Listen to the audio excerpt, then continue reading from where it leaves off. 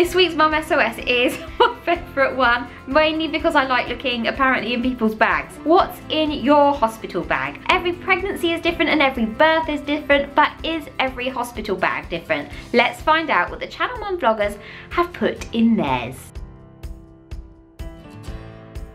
The third hospital bag that I will have packed and I feel like I've really learned what you actually need and what you really don't. This is my bag. It's wipe clean, which I just think if you're gonna be in hospital, you kind of want something that you can keep clean and use afterwards. Plus, it's not too girly, so if Pete has to carry it, he's not gonna moan about it. I'm 20 weeks pregnant, so I haven't packed my hospital bag yet, but I do know what I used last time and what I'm definitely gonna be packing this time. For me, I like to pack brand new pajamas, slippers, sanitary pads, nipple pads, nursing bras. I think more baby grows and sleep suits than you think that you need. Big knickers. You don't want to be in a thong after you've given birth. And as well, if you've had a C-section, you just you don't want anything tight or restrictive down there. You just want loose and comfortable. And my top tip is to pack yourself a really lovely dressing gown. When you're going to be like in a labour ward, maybe for a night or two, it just makes you feel so much nicer having a nice one. Phone and your phone charger, camera and your camera charger. They're not glamorous,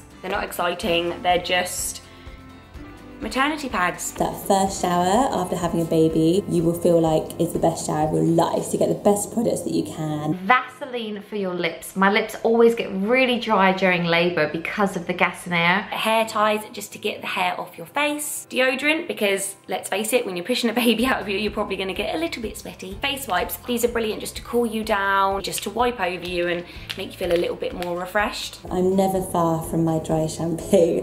I think they should just give this out in labour wards. It's the best thing in the entire world and you can just spray and feel a bit nicer. Partners as well can be forgotten quite a lot when you're packing your hospital bag, so try not to forget them. Pack them some snacks, some drinks, some change for the car park. That is such a good idea to get that ready and in the bag so they don't even have to think about it. Maybe more change than you'll need because you don't know how long you're gonna be there for. Cute little baby clothes. This was Jasper's hat. That we brought him home in from hospital, so we thought it'd be really nice for this little one to wear it as well, although it looks really big. I hope his head's not gonna be that big. The thing I would definitely take is something to eat because when I had the baby, the cafe was closed. My second baby, they said, oh, all we've got to eat is a corned beef sandwich. I'm vegetarian, but if we're not a vegetarian, nobody in the world wants to eat a corned beef sandwich. And I was like hungry. I wanted something that felt really nutritious and nourishing. Food, dressing gowns, and dry shampoo. Those are my top tips.